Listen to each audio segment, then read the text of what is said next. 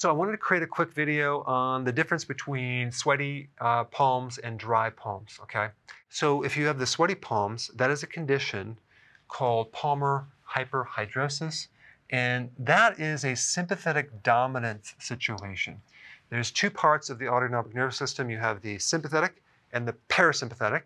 The sympathetic is the flight or fight, and part of that system is involved controlling different glands, uh, the sweat glands, and that's really what's behind sweaty palms. So, what can you do about it?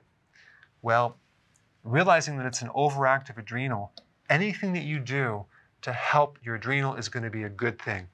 There's another condition called POTS, okay, which involves uh, one of the symptoms is getting up too fast and you're feeling really dizzy. That is also a sympathetic dominant situation. Uh, a person who startles easily, or they can't tolerate stress would, would have sympathetic dominance. Uh, one key vitamin that supports that part of the nervous system is vitamin B1.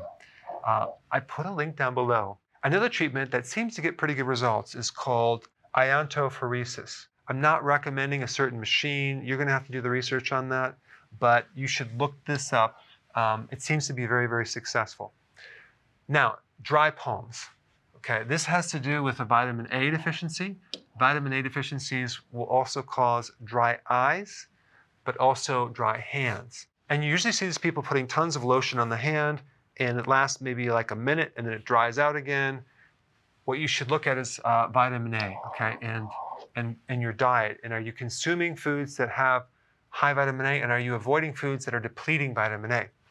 Uh, vitamin A is in fish oils, especially cod liver oil. It's in fatty fish, beef liver, it's in animal products, it's in dairy, uh, it's in butter, egg yolks, those foods, which, you know, a lot of people do consume fat in their diet, but usually it's the other foods that are countering that process, okay? So let's say you're consuming a lot of refined uh, foods or sugar that is messing with your liver or your gallbladder, and then the gallbladder doesn't work, or you're consuming too much alcohol that can affect the gallbladder and liver. That alone will prevent vitamin A from being absorbed. Okay? It could also be a problem with your digestion internally, some inflammatory um, condition in your colon that will not let you absorb vitamin A and causing this dryness. Now, the last point I want to bring up is that if you use lotion on a regular basis, the fact that you're using the lotion, which usually has either alcohol in it or some other solvent in there, uh, you're going to have to stop that for a while before your skin can heal because it, it pulls out the oil, it's going to dry up despite how much vitamin A you're consuming. So you're going to have to avoid putting lotion on your hand for a while. You may want to put some vitamin E oil in your hand as a temporary thing to start healing the skin simply because all the oils are pulled out and vitamin E is a really good oil to put back into the skin. And I think a lot of people have this idea that if I have dry skin, I'm dehydrated. But in actuality, it's usually um, low fats, either in the diet or you're not absorbing the fats. All right, thanks for watching.